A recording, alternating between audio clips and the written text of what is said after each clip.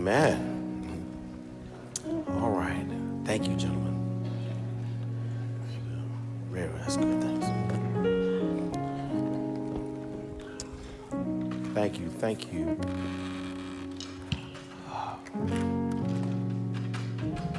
Let's turn it out to face more. Thank you. Appreciate it. God, I pray that you would be present speaking, our hearing, our understanding, and more importantly, our living of your word. Speak, Lord, for your servants are listening.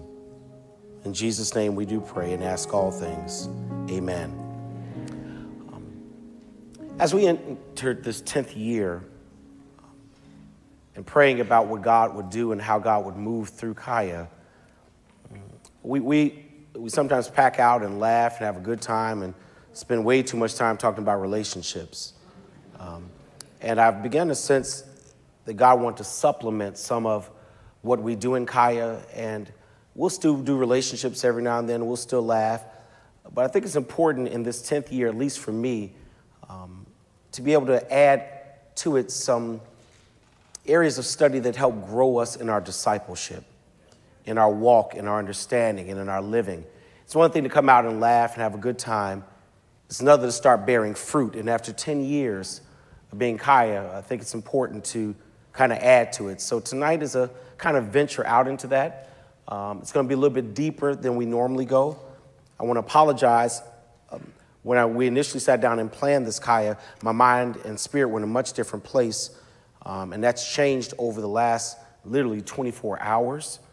Um, and so I bring to you something kind of hot off the Holy Ghost press um, that I didn't have time to put a PowerPoint together. So we're going to go old school uh, with a whiteboard and a marker tonight um, and pray that you still be able to keep up. So I was at a pastor's conference about maybe a year and a half ago, and they put us in different groups, and these groups were pastors of various churches, sizes, different length of pastorates, and the facilitator engaged us in an icebreaker that was kind of embarrassing to me. Um, to be in a group of pastors, uh, we were given a piece of paper and uh, we were given a quiz to see who could name all 12 disciples the fastest.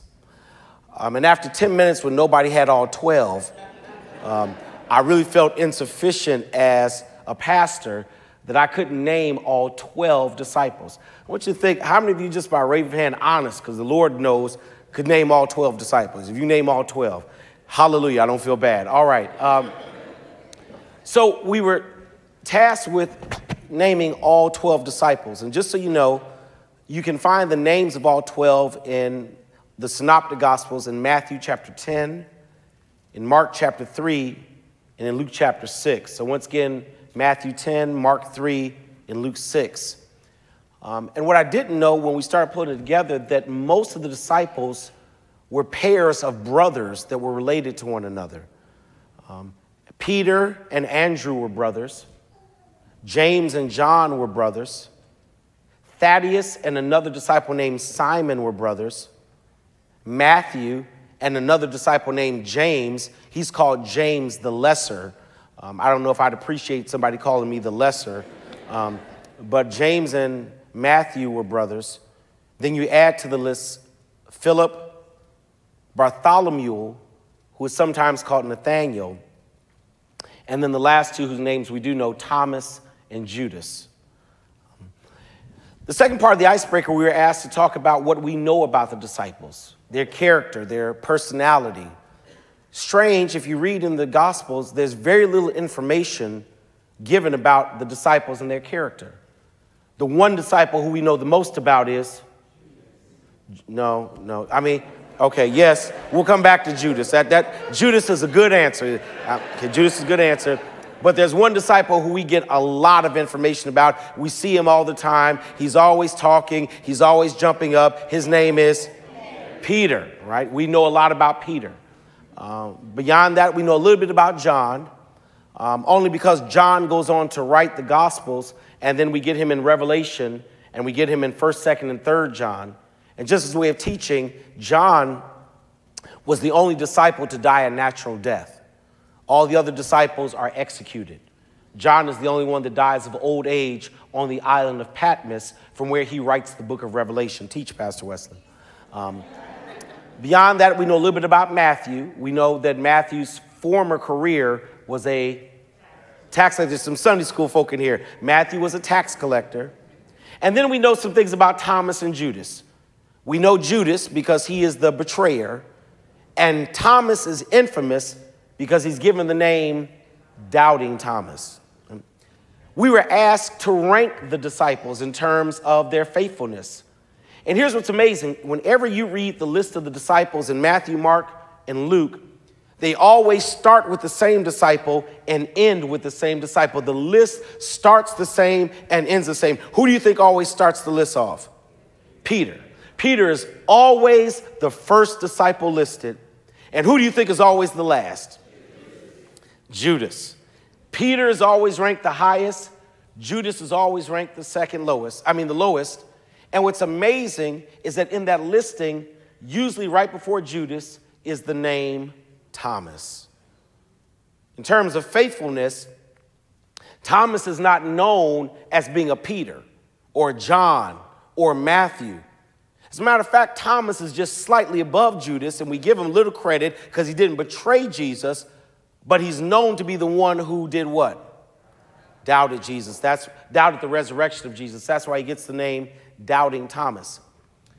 As part of the icebreaker, we were then asked to identify which disciple we most saw ourselves in. It shouldn't surprise you in a room full of preachers and pastors that most of us aligned ourselves with Peter. Most of us said we were like Peter. Peter was bold and courageous. Peter never had a thought he didn't share. Peter was saved, but he wasn't delivered from everything. You remember Peter in the garden, he's got a knife on him. He's hanging with disciples and he's armed. they come to arrest Jesus, and Peter takes a knife and cuts off a man's ear. Peter is a sanctified gangster. I like me some Peter. And Peter fell and got back up.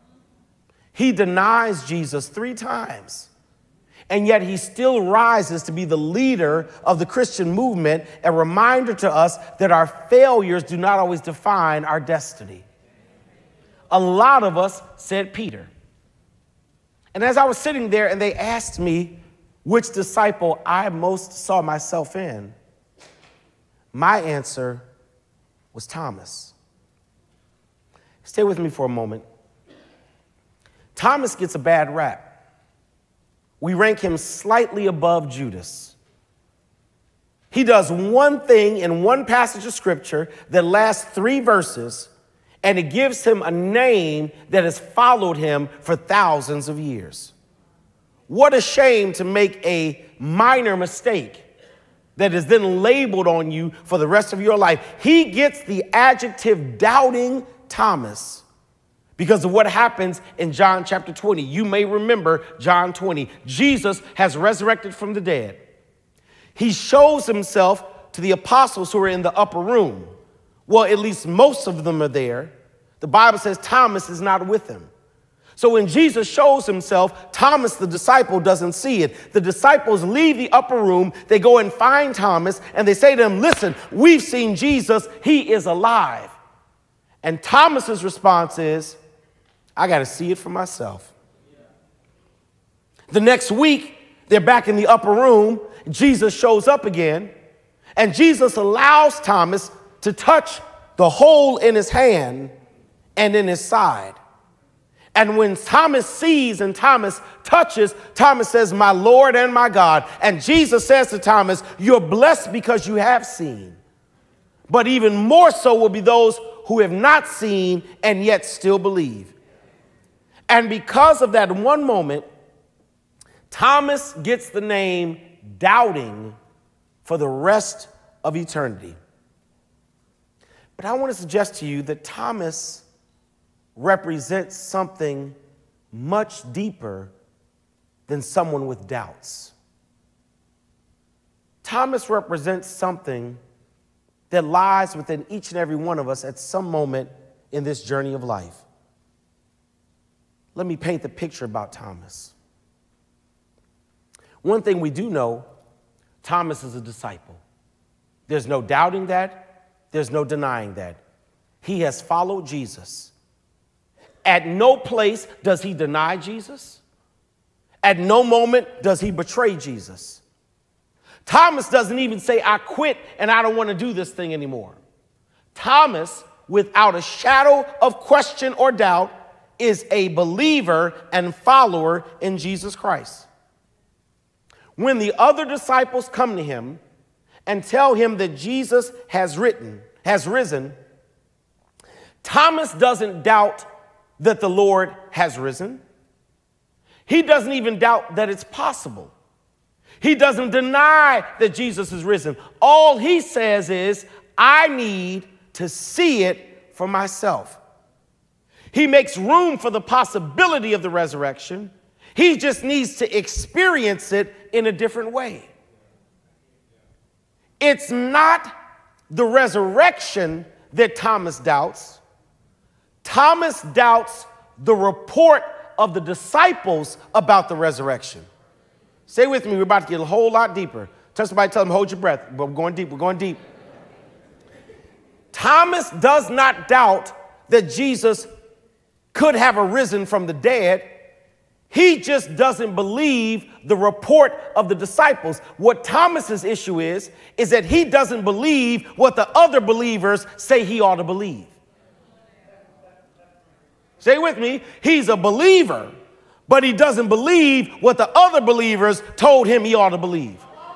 Okay, one more time. I believe the Lord, I follow the Lord, I'm a disciple of the Lord, but I don't always believe the same thing other believers say I ought to believe. Thomas represents the disciple who doesn't always agree with what other folk think he ought to believe. He hears what other people are teaching and saying and proclaiming and preaching, and he says, I don't think that sets with me. Thomas represents that space where we find ourselves in disagreement with some of the other things other disciples are saying, and we won't relinquish our position. Have you ever found yourself sitting in church and you heard something preached and taught, and inside you something just said,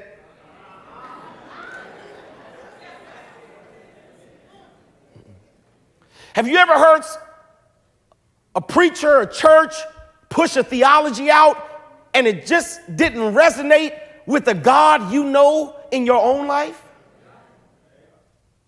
Have you ever found yourself evolving in your thinking about God?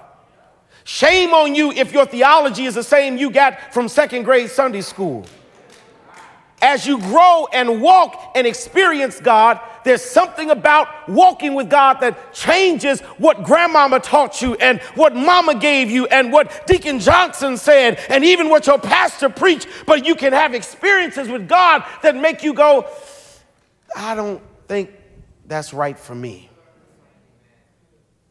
Thomas gives us the space to disagree with other disciples. And here's the beautiful thing can I tell you something? Jesus never called him Doubting Thomas.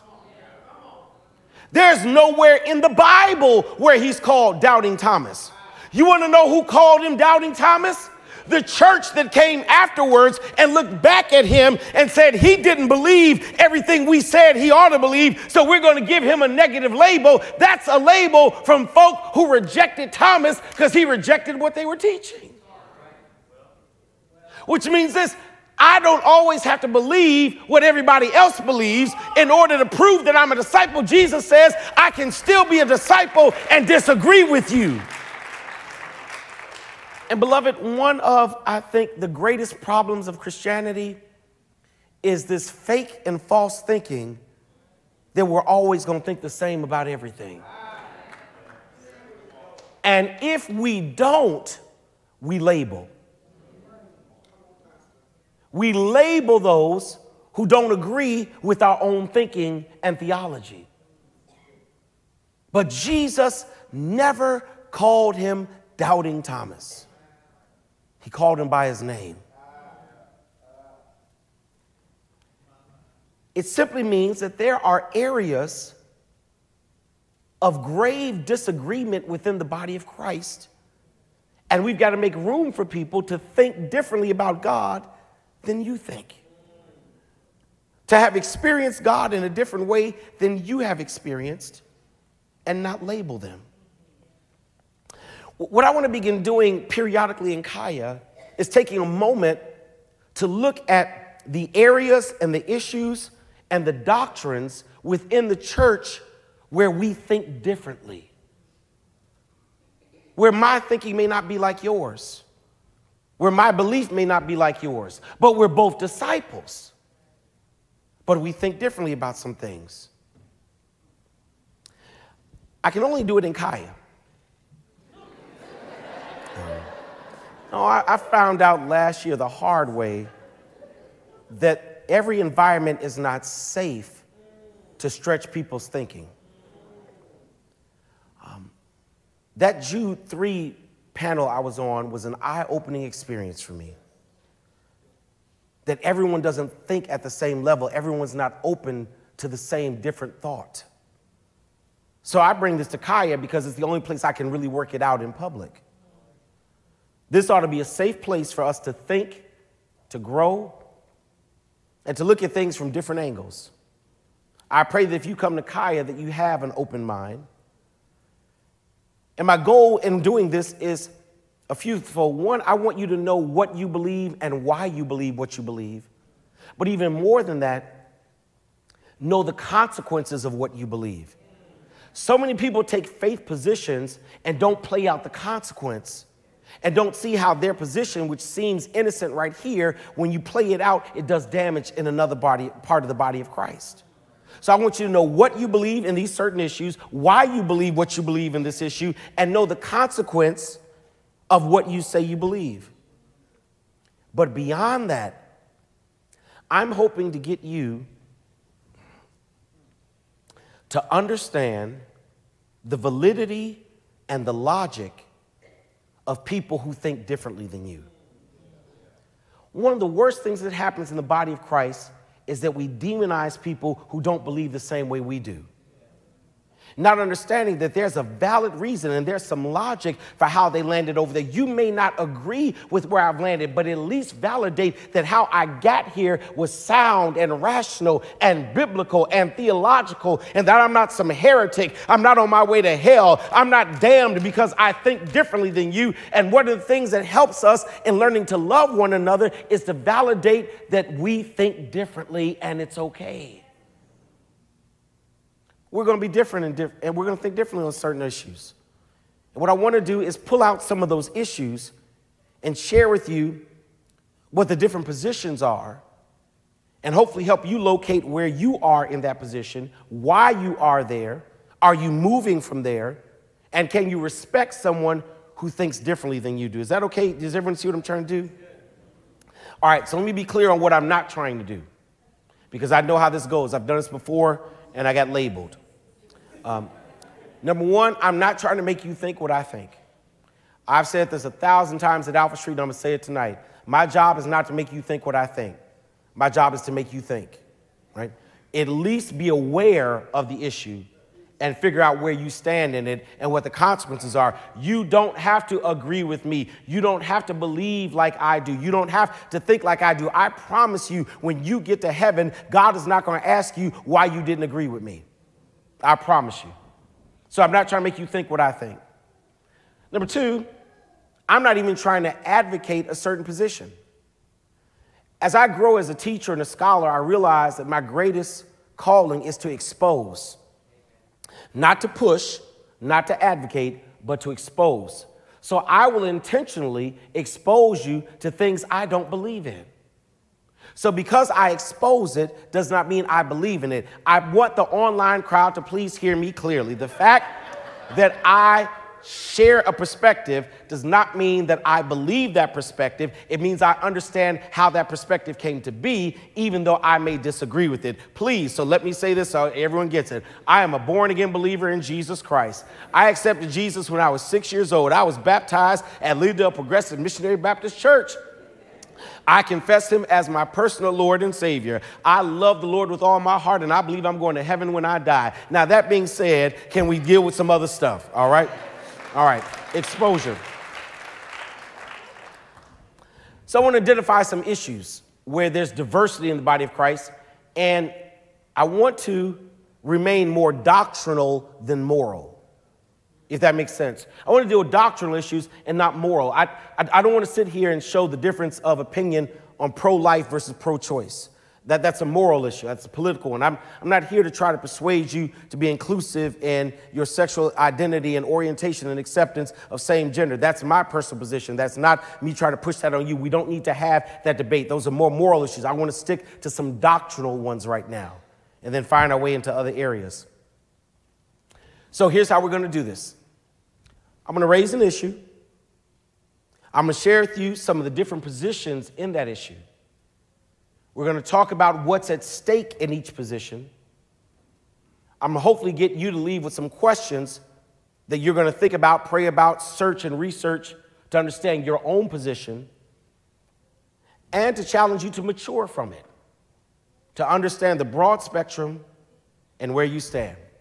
So if you're confused, let me tell you, we've done this once already and it almost worked well. It almost worked well when we asked the question Is salvation only in Jesus' name?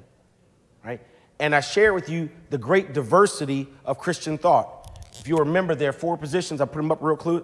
You've got the exclusivist, right? We've got the inclusivist. That's not spelled right. Inclusive. Yes, it is. All right. We've got the pluralist, and very, who said that? Go, you make me so proud. And the Universalists, For those that weren't here with us, so we raised this issue. Is salvation only in Jesus' name? Right? And I share with you that within the body of Christ, there's not just one answer. There are actually four. There are those who are ex- exclusivists. These are the people who say only in Jesus. This is the John 14, 6 crowd, right? I am the way, the truth, the life. No one comes to the Father but by me. This is the Acts 4:12 crowd. There's no other name given under heaven whereby you can be saved other than the name of Jesus. And there are people in your pew who are exclusivists, Jesus only. The inclusivist, which is where I stand, is the brother or the sister who says, Salvation is in Jesus' name, and it may be possible for there to be salvation outside of Jesus. I don't know.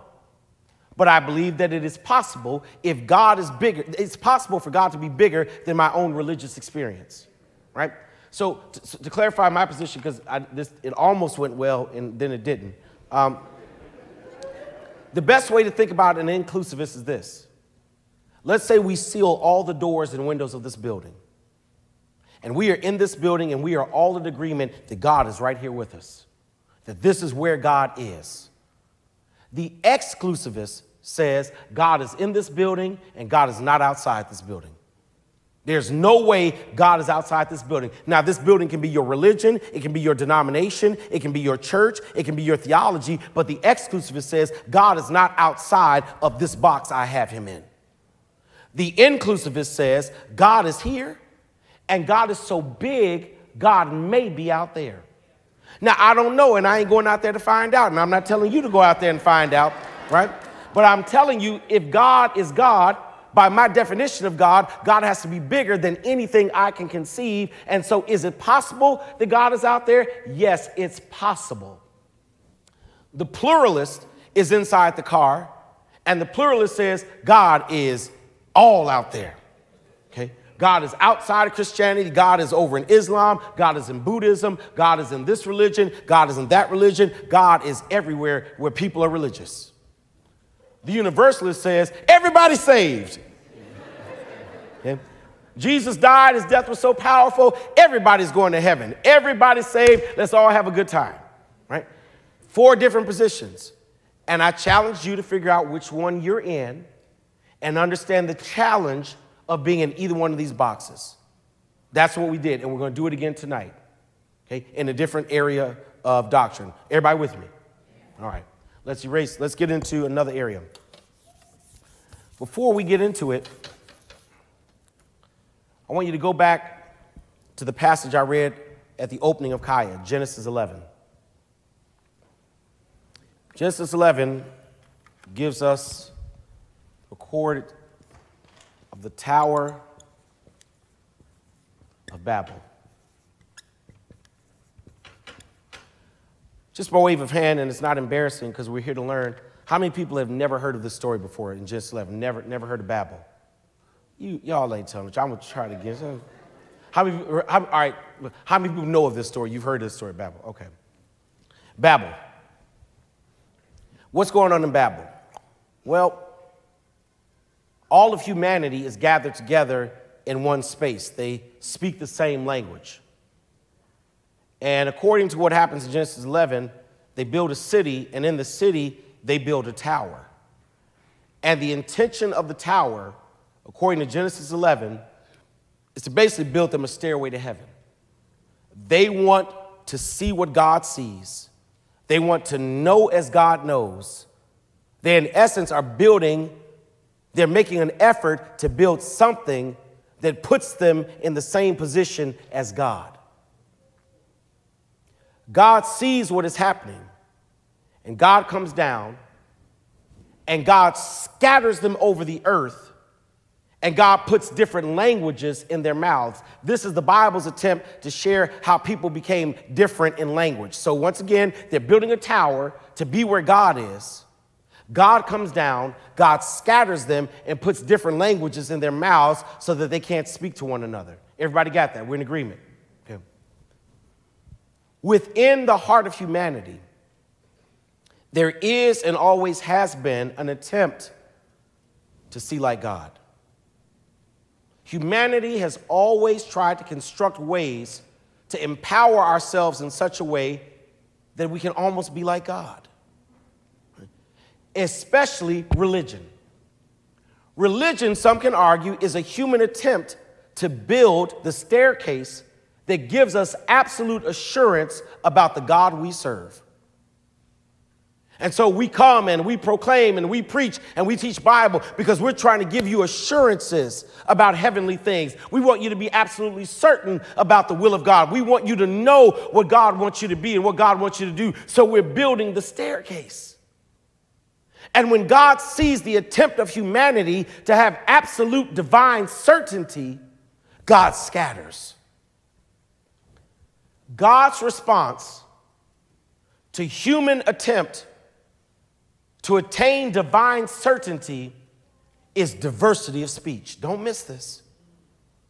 When people want to think they know everything about God, God scatters and says, talk differently, think differently, see differently.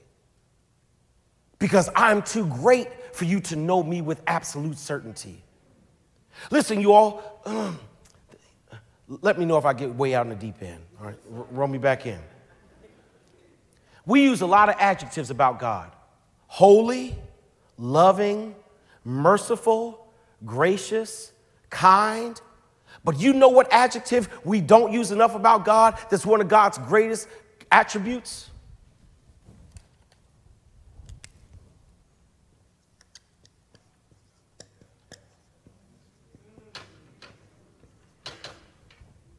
Mysterious. What does it mean to be mysterious? Literally means not being able to be ascertained with human understanding. So, Paul, when Paul writes to the church in Corinth, this is what he says. He says, You know what I am?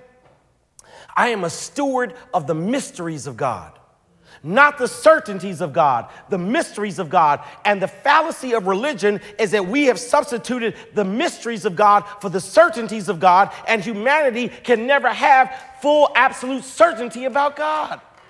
God's ways are higher than our ways. When you deal with God, you are dealing with a mystery. You can't fathom this God. You can't understand this God. You can't predict this God. You can't limit this God. You can't religiosity this God. He's so much bigger than anything we know, and God is a mystery at the end of the day. And we only know God as God chooses to reveal himself. So, watch this. So, when there's an attempt to have certainty, God creates diversity. Because the way to deal with the mysterious God is to accept that people who are different are still godly. They may not think like you, they're godly. They may not talk your church language, they're godly. They may not think like you do. God intentionally created diversity to remind us that you can't have absolute certainty. So, how dare you take your minute, microscopic understanding of God and use it as a tool to judge someone else? That's what I was trying to get to. Right? You know this much of God, and you want to judge somebody else?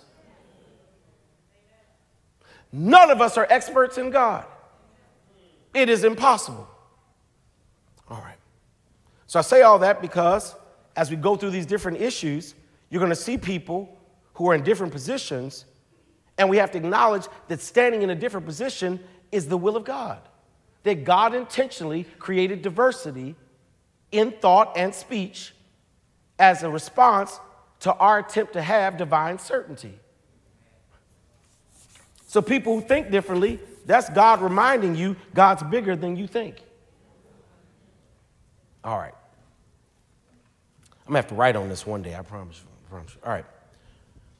So let's look at an issue where there's great diversity. We, ju- we just touched on one as a recap, which was Is there salvation outside of the name of Jesus? Where I want to begin our journey in CAYA, that's going to carry us through the next few months here and there, is the second great area of debate within the body of Christ. Who called it out?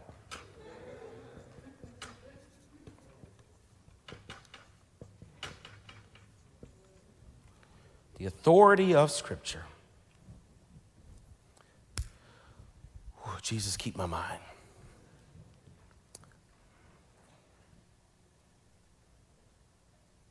How much weight, W E I G H T, does the Bible have in your life?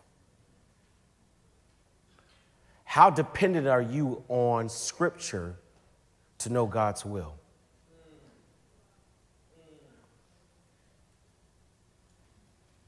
How Christians see the Bible has become very diversified, particularly in the last 40 to 60 years.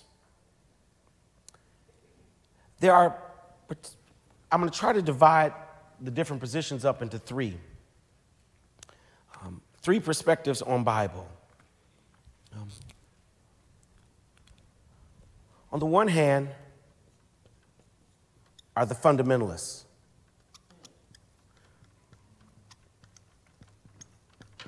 It's the most common position. It's the most historic one. The majority of Christian history has had a fundamentalist perspective of Scripture. Um, I'm going to put some terms up on the board can I erase this? Because I need, I need writing room. Is that all right? Can I erase this? Everybody's taking a picture. All right. few words, few terms you need to know.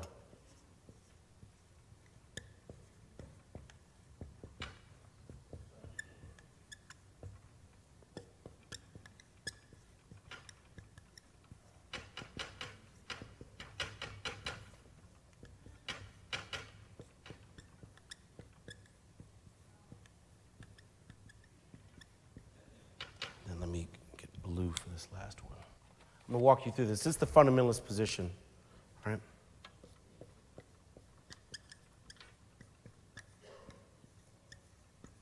All right, let's say it together. Sola Scriptura. We're learning tonight. Sola Scriptura. Anybody got a headache? This is just, just, just too much? So, you really raised your hand, man? Uh, sola scriptura, infallibility, inerrancy. Here's a Greek word you need to know theotokos. Okay, you see theo, you know what this is theo, theology, theotokos. We'll talk about him. The fundamentalist position of Scripture is this um, sola scriptura, Scripture only. For the majority of the history of the church, there's this belief that Scripture alone was the authority. So these are the people who, when a question arises about what is right or wrong, their first response is what? They ask this question What does the, what does the Bible say? Right? Fundamentalist question. What does the Bible say? That whatever the question is, we can answer it in Scripture. That's sola scriptura. Infallibility and inerrancy are core doctrinal beliefs in a fundamentalist position. Infallibility the Bible can never fail. Inerrancy, the Bible's never wrong. The Bible has no error in it whatsoever. It is a perfect and pure document. You cannot be ordained Baptist without knowing the definition of infallibility and inerrancy of Scripture. It is core of what it means to be Baptist. Because at the end of the day, Baptists are fundamentalists. Baptists are supposed to say, What does the Bible say? God said it, I believe it, that settles it, and that's the end of it, right? Theotokos. Theotokos. That is a doctrine that basically argues, Antonio, that all of Scripture is inspired by God. Everything in your 66 books is literally this. This is what Theotokos literally means. Everything you read is God breathed. God breathed it out. So, what happens when someone has a perspective that all 66 books are God breathed. They can't be wrong. It came out of God.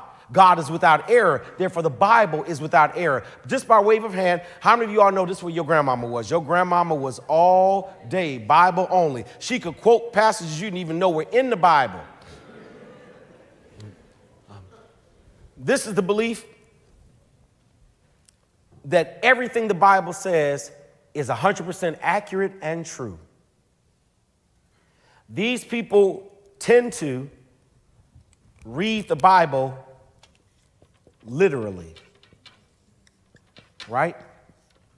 God said it, I believe it, that settles it. This is the seven days and heaven and earth were made. This is that every miracle you read was literal. This is the Bible is without error. There's nothing in error or untrue in the holy word of God. It's a fundamentalist position. Now, there aren't many in your generation who hold to this. Unless you were raised like old school Baptist, Pentecostal, COGIC, Apostolic, Pentecostal Assemblies of the World, Sanctified, Holiness Church, you're probably not here. Most of your generation has kind of abandoned this, right? Um, most of us have landed in a place where we realize that there's an element involved in Scripture that we have to take seriously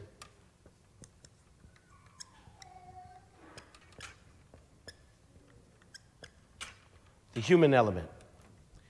And this is why we've abandoned this Theotokos, because although it may be God breathed, we also know human hands are involved, particularly in three areas, right? We know number one, the writers were human. As much as we like to believe that the Bible just dropped out of heaven, we know that men wrote the Bible. Men who were limited in knowledge and understanding of the world. They were men of their time.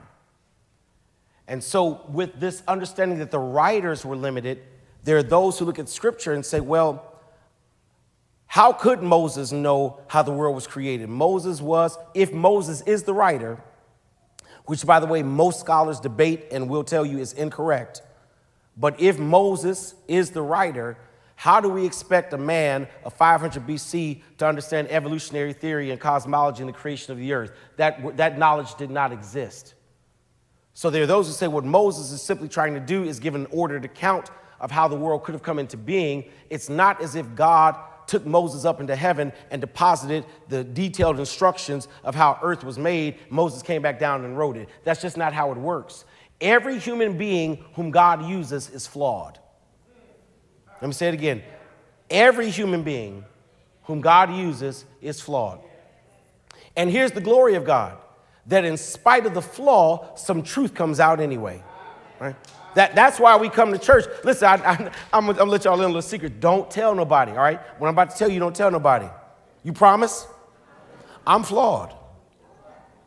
I'm flawed. And you come here every first Wednesday of the month believing that somehow or another God's truth is going to come out through this flawed human being. Everybody God uses is flawed except Jesus.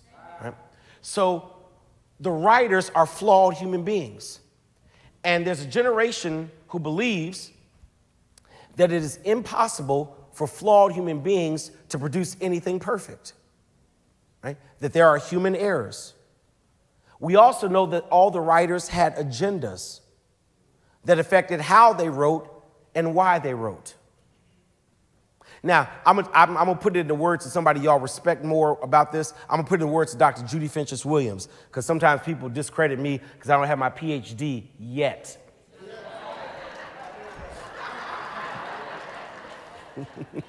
Y'all pray for me. I'm, I'm almost qualified for comprehensive exams. We are on our way. man, you know they released my reading list this week? That thing has 100 books on it, man. That's crazy. That's ha- hazing. You got me?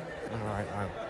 He's got his PhD, so we talk. Um, let me tell you what Dr. Judy Fentress Williams said. She's a bad mamma jamma. We were at that Jude 3 conference, and we're sitting on this panel, and they were talking about how the Bible was the holy word of God, that it had law and, and poetry and, and inspiration and gospel. And Judy stood up and said, Yep, and propaganda.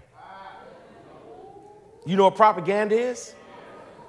An intentional intent of an author to persuade you in a direction. What we seem to want to ignore is that the writers of the Bible had agendas. They were trying to persuade something, and their agenda was not historical facticity. They are not writing to give you an historical account like you expect when you read the Wall Street Journal or the Washington Post. These men had an agenda. Their agenda was oftentimes theological and most times political. Now, that doesn't mean that God's not in it, but let's not ignore the human element of the writers who had an agenda. They had an agenda, they were limited in their knowledge and understanding, and we now know for certain that the sciences contradict some of what is written in the Bible. We know the sciences contradict. There's no there's really, I just don't know how people argue a seven day creation theory when we know how old the earth is. Right? When we have archaeological evidence of dinosaurs, we know these things existed. And they're, seemingly, they're seemingly contradictory to some of the things we read in Scripture. Stay with me, don't throw anything up here. I promise you it's going to get better before we're done.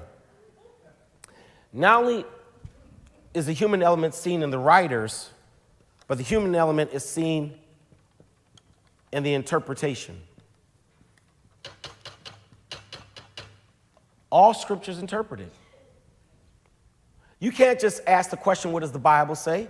Because the answer depends on who's reading it.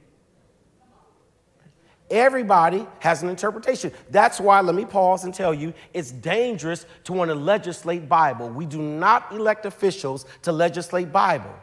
Do you want the right wing evangelical Bible interpretation to be legislated? Hell no.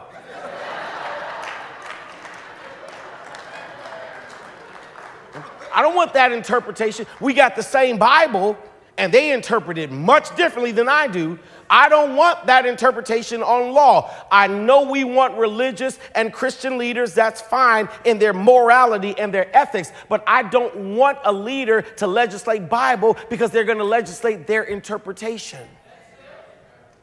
Jeff Sessions was quoting scripture to support Donald Trump. I don't want that in legislation. All the scriptures interpreted. we, you and I can open up the Bible to the same passage and argue all day long. Renita Weems put it best. She said, You can only see from where you stand. Where you stand in life determines what you see in Scripture. And your interpretation is going to be very different than somebody else's because there's a human element in dealing with the Word of God. You can't just say, What does the Bible say? Because there's no answer to that. You can make the Bible say whatever you want it to say, depending on your interpretation, where you stand, where your heart is, where you are in your walk with God. There's a human element in the interpretation, there's a human element in the writers, and there's a human element in the context of creation, and by that I mean of the scriptures. I promise this is the last deep and hard point. Here's the question I want you to wrestle with How much does the context and the culture of the times when Scripture was created affect the Scripture? Say it again. How much does the context and the culture of the time in which scripture was written, how much does that affect it? Some things were shaped in scripture by the context in which they were written. Elijah, I had a New Testament professor ask a good question. He said, if Paul were alive in 2019, would he write the same things? Think about that for a moment. If Paul was alive today, would Paul write the same things? Would, in 2019, would Paul dare say, Slaves, obey your masters?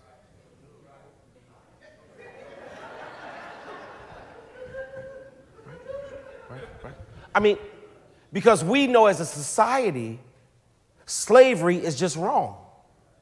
It's not according to God's will. It is not godly to own human beings. So, would the man of God, who we revere and who wrote half the New Testament, if he's alive in 2019, would that Paul write, Slaves obey your masters?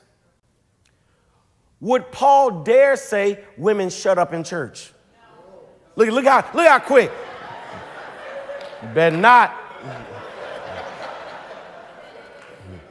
He wouldn't have, well, he'd have church down south, but I mean, he wouldn't have, because as a society, we are evolving and understanding the equality of gender, and we wouldn't accept Paul in today saying women be quiet in church. Okay, let me give you another example because that one didn't that, that one didn't work. Yeah. Because that, that issue is still being debated in, in the body. I get it. John chapter 8, woman is caught in the act of adultery. Y'all remember that one? The religious folk bring her to Jesus. And what are they prepared to do? Stone her. Think about that. They're prepared to throw stones at her until she is dead. Can, can you think of what that looks like? To stone someone? Throwing rocks at someone till they're dead? Here's the question I want to ask you Why were they about to stone her? It was the law. It's written in scripture. A woman caught in the act of adultery is stoned. They were living out Bible in stoning her. That was the culture they lived in. Would we tolerate today somebody being caught in adultery being stoned? Is, is, I mean, some of you are like, yes, if that's, yep. Yep. If I caught him, that's what he gonna go through. that, that, that, um, um, uh, uh, and you would be in jail. Um, but, but, but, but think about it. That's Bible. That's in Leviticus. Stone a woman caught in the act of adultery, and the man should be stoned as well. And we now live in a society where we know we would not stone someone for that kind of sexual act. It may be immoral, it may be wrong, but is deserving of stoning. So that scripture in Leviticus is rooted in a culture so that now in 2019 we read it but we don't apply it. If we saw someone from an African country that was still enslaved and they were freed, would we send them back? That's what Paul told Philemon take the slave back. So here's my point. Because our culture has evolved, there's certain things in Scripture we have ab- not abandoned, we have found our way around because we know this doesn't apply in our culture. So at some level, we know that the culture in which it was written affects how we interpret it in our own time. We found our way around slaves obey your masters because we knew slavery was wrong. We are finding our way around women should not speak in church because we believe in the equality of gender. What are we going to think 20 years from now about these seven passages of the Bible that you think are against homosexuality?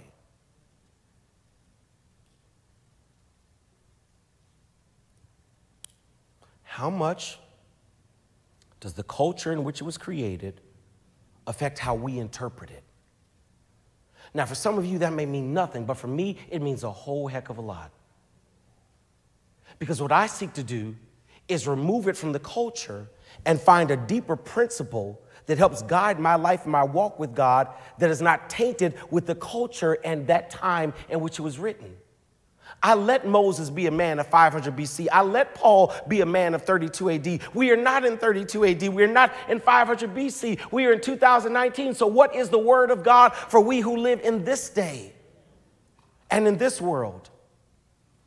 There's a human element that we've got to deal with. And then, thirdly, so we've got those who are fundamentalists, we've got those who deal with the human element. And then in the world today, you have those who see the Bible as flawed and contradictory. And they may say it's inspired, but it's not definitive. It's not authoritative. It's another book to read. Now, give me five minutes and we're out. What are the challenges? I'm not going to ask you to, to identify where you are, or what you to think about it. But if you are a fundamentalist, if you believe God said it, I believe it, that settles it. Here's the pro and the con for you. The pro is you got scripture on your side. If you believe the Bible is the final authority, you got scripture to back you up. The grass withers, the flower fades, but the word of God stands forever. All scripture is given by inspiration of God. Man does not live by bread alone, but by every word that proceeds out the mouth of God. The word of God is eternal. Heaven and earth will pass away before one jot or tittle of God's word is untrue. If you are a fundamentalist, you've got scripture to back you up. Stand your ground. Believe what you believe. But here are your challenges. If you are a fundamentalist and you've got scripture to back you up, and you believe that the Word of God is the final authority, you ought to ask the question, what does the Bible say? And once you find the answer, that's the end of it. Here's the problem you have three of them. Number one, you are defending the authority of the Bible by quoting the Bible. Does that make sense? Okay, let me say it again. If you're a fundamentalist and you're in this first group that says, this is what the Bible says, that's the end of it, you are defending the authority of the Bible by using the Bible. So, this is what you're saying. You're saying the Bible has authority because the Bible says the Word of God is true. You still don't get it. Okay, okay. Okay, so, Sayana, let's say I'm going to tell you that you have to do what I say. I have authority in your life, in your household, right? I'm telling you that from this point on, you're going to do what I say, right? Your first response to me is going to be, well, because I know what you're going to say. Let me see what your second response is going to be. Um, what makes me think I have authority in your household? And here's my answer because I said I do. Does that make sense? Right, right, you'll right. It's, it's me saying I have authority because I said I have authority. It's, it's almost true to the poison tree. You're saying the Bible is authoritative because the Bible says it's authoritative. You got me? Some people, some, get, get, get, get. You're quoting the same source to justify the authority. Right? You're saying the Bible is eternal because the Bible says it's eternal. Okay? That, that's fine for you, but you're going to have problems when you deal with people who don't agree to the same premise that you do. What are you going to do when you run up on a Muslim brother who says the Bible is flawed? You can't argue the authority of the Bible from someone who doesn't believe in the authority of the Bible. So that's your challenge. I'm not saying you're wrong. I'm saying just know that you're arguing the authority of something from the very same something, and you can't justify the authority on the same source. So you can't say the Bible has authority and then quote Genesis. Right? Right? Okay. That, that's a problem. The second problem you're going to have, if you're fundamentalist, and I'm not saying you're wrong, I'm just saying you have to be ready, is that you have to give an account for how some of the literal readings of the Bible are contradictory. Man, if I had time, I would point out to you seven, at least seven areas where the Bible seems to have just some, some error in it that needs to be dealt with. Um, can you give me 10 minutes to share with you a few, or you want to go home? I mean, y'all ain't left yet. The folk already left, so if you want to leave, you'd have been gone. Um, I mentioned one already that it is physically impossible to account for the creation of the world in seven 24 hour periods. Right? You, got, you, you, you knew you had to deal with that. You know you got to deal with dinosaurs. Um, we know that there's certain stories in the Bible that are adapted from other Middle Eastern literature that preceded the Bible. Does everyone understand what I just said? there's material in Scripture that we know is adapted from other literature that was existent before the Bible was. So, an, example, when God gets ready to destroy the earth uh, with the flood, in Genesis 6, we read that the sons of God had come down on earth and were having sex with women and giving birth to giants. Right? That's, Gen- that's Genesis. See? So, so here, here's the problem, fundamentalists. You better make sure you read your Bible right? If, if, if you go if you gonna stand on uh, God said it, I believe it, that settles it. You better know what's in there because somebody's coming for you. Right? And they're going to share with you that that story is adapted from some other Middle Eastern literature, and they'll show it to you, and it's the exact same story, and you got to be able to give an account for that. That the writer seemingly took what was known as a common myth and inserted it into Scripture. The sons of God having sex with women and giving birth to children. How, how do you answer that? I'm not saying you. How do you answer it? Give you another example. Want you to look up, since you all are Googling everything. Boy, I know I'm gonna get some emails after this. But I want you to look up King Ahaziah. Um, I'm gonna tell you where you can find him make sure I get these right. First Chronicles, right? No, Second Chronicles. So he's in Second Chronicles 21 and 22. And he's in Second Kings 8. Would you look up King Ahaziah? And here's the problem. The Bible says that Ahaziah is, he's the son of Jehoram right? Just, just stay with me. Let's listen. He's the son of Jehoram. His father died at age 40. They made him king. And the Bible says in Second Chronicles, he began to reign when he was 42. You almost caught it. He's the son of Jehoram. Jehoram dies when Jehoram is 40.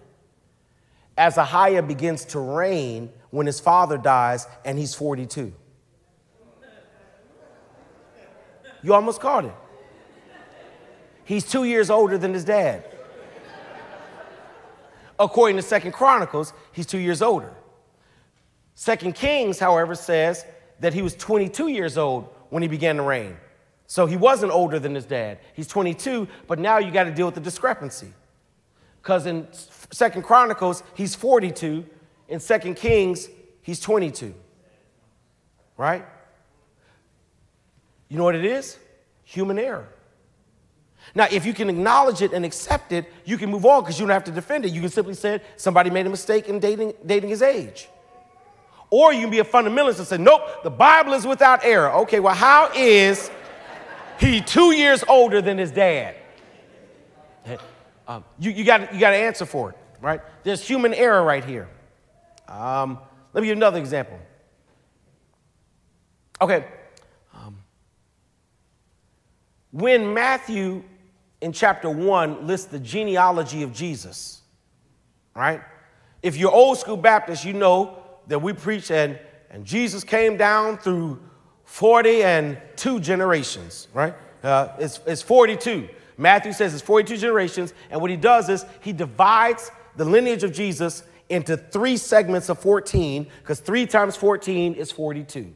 So Matthew lists the genealogy of Jesus 14, 14, 14. He says it's 42. Two problems. Number one, he only lists 41 generations. He says it's 42, only lists 41.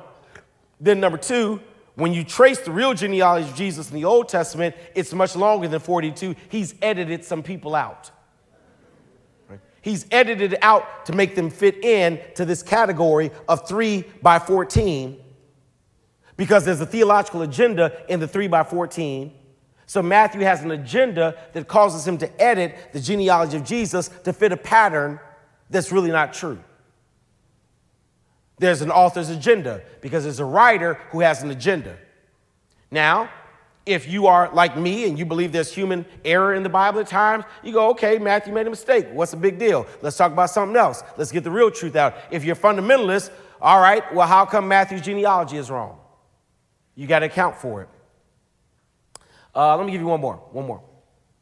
Mm, what's a good one? Mm. In Mark chapter 2, Jesus says, according to Mark, that David went into the temple and ate the bread when Abiathar was high priest. But in 1 Samuel 21 and 2 Samuel 8, David ate the bread when his father Ahimelech was high priest. So here's a big problem. The Old Testament said it was David and Ahimelech. The New Testament Jesus says it was David and Abiathar. So now you got a real problem. Is the Old Testament wrong, or dare you say Jesus was wrong? mm-hmm. Or can you say Mark got it wrong? Right? Human error or truth? So you've got a problem. You've got that you're using the Bible to defend the Bible. You've got these contradictory information. There's a whole lot more. You can actually Google them and find them out where the Bible has error. Every website is not to be believed, but they'll give you some biblical evidence. The third thing you're going to have issue with is the image of God that is portrayed in certain places in the Bible. There's certain images of God that ought to disturb you that we've just accepted. Let me give you two quick ones, and, and we're, we're out of here. I'll pick this back up. We'll, we'll talk if we're going to change next month. Okay. Two, two examples of images of God that ought to disturb you. One is in 2 Kings chapter 2. Write it down when you go home. This, 2 Kings chapter 2. Let me give you the context. You all know that the major prophet in Israel is named Elijah, J A H. Elijah goes up to heaven and leaves his anointing with his mentee Elisha. So Elisha is now in charge because Elijah is gone. And in 2 Kings chapter 2, Elisha is prophesying, and the Bible says that some kids come up and start teasing him because he's thinning hair, he's going bald. It's, it's, it's in there. If you're a fundamentalist, you better read your Bible. So Elisha gets teased by some kids because he's bald.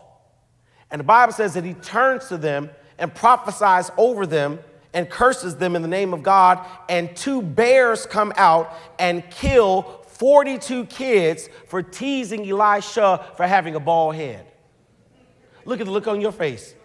You like, like man, that ain't in there. Tell you, say it ain't in there. Yeah, it is. How do you feel about a God who sends two bears to kill 42 children for making fun of a prophet? I don't, that's one of those. So remember when I asked you, have you ever sat in church and you heard something, you went, you know what's happening to me now? I read the Bible and there's some places I go,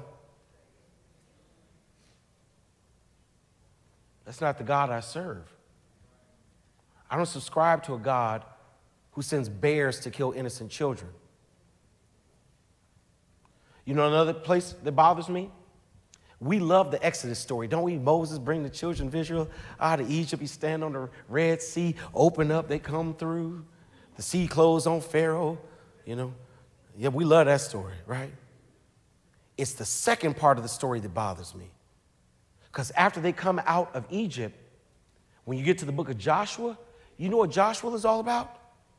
Joshua is God telling the children of Israel, this land is inhabited by all these folk. Kill them all and take their land. That's the book of Joshua. The first 13 chapters is God telling Israel, kill everybody who's an inhabitant of this land, take it, claim it as your own, and keep all their good stuff. Now, what happens when Europeans land in America and they start reading Joshua? What happens? Oh, God told us kill everybody and take their land and then build a wall and call everybody else an immigrant. That's a problem for me. Now, maybe it doesn't bother you. We, we, we preach all those. Joshua fit the battle of Jericho and kill thousands of people to take their land. I read some of these and go, I got trouble with that image of God. That's not the God I serve.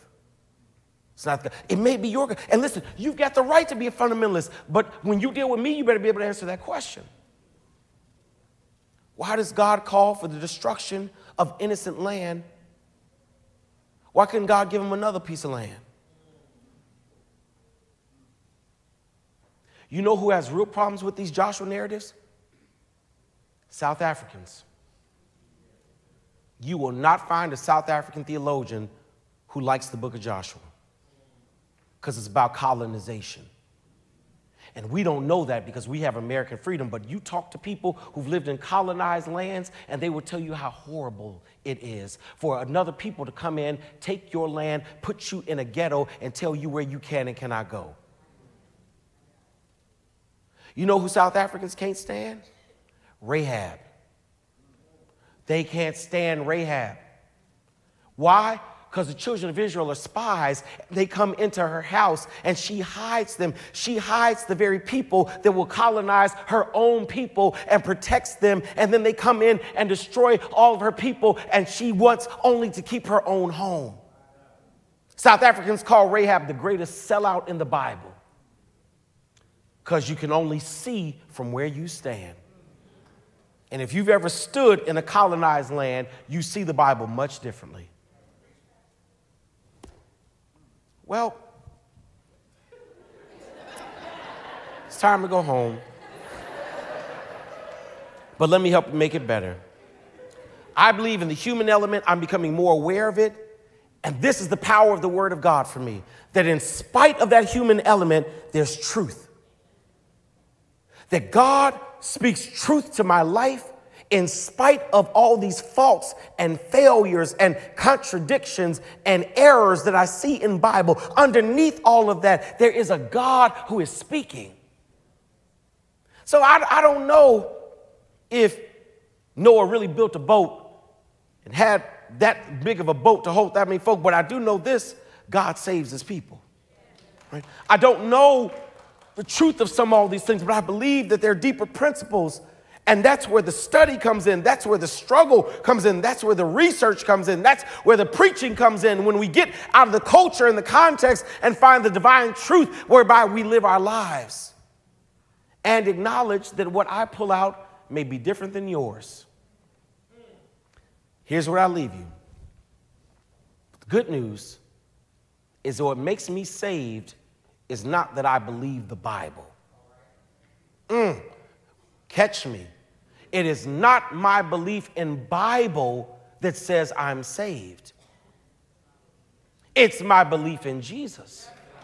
And if I confess with my mouth the Lord Jesus and believe in my heart that God raised him from the dead, I am saved. So, this is my last point to you. So, I argue this that our belief in Jesus is where we're saved, and everything else is debatable. We can debate everything else. We can debate what you think about this, what I feel about that, how you think about this. We can debate the women issue. We can debate the sexuality issue. We can debate the worship issue. We can debate the tithing issue. All of that is debatable as long as you have believed that Jesus Christ is Lord, that He died, that He rose, and you've opened up your heart to Him. Everything else is debatable because that ain't what saves me anyway. It's not my belief in Bible. It's my belief in the lordship of Jesus. And after that, girl, think what you want. Let's talk about it. Let's debate. it. Let's have a good conversation and not put each other in hell. All right. All right. Let me let me close in prayer. We're late. I thank you. I am um working a lot of things out in my life and my theology and my scholarship, and I thank you all for helping and being patient with me. Lord, our journey with you begins not in our understanding of Genesis or Revelation, but in our acceptance that Jesus died on the cross, that he rose, and that he lives inside of us. From there, our journey goes in some different directions at times. I pray, Lord, that you help me understand the journey you have me on, that I might be faithful to the God I know and the God I serve, and at the same time accepting that my brother and my sister may be on a different journey, that you're dealing with them differently than you're dealing with me and it's okay for us to see you differently and believe in you in different ways because we both believe in Jesus Christ. Lord, guard us now. We're going to have some discussion, some thought, but more than that, may we have a good night of sleep. May we rest tonight knowing that our souls are saved by the blood of the Lamb. Tomorrow, when we wake up, give us a hunger to know you better, to study you more, to read your word and to allow the Holy Spirit to lead us in understanding. Keep us until we meet together again. In Jesus' perfect name, we do pray. Amen. My brothers and my sisters, please have a blessed and beautiful night, and may the grace of God go with you and you go with the grace of God. See you all next month for CAYA.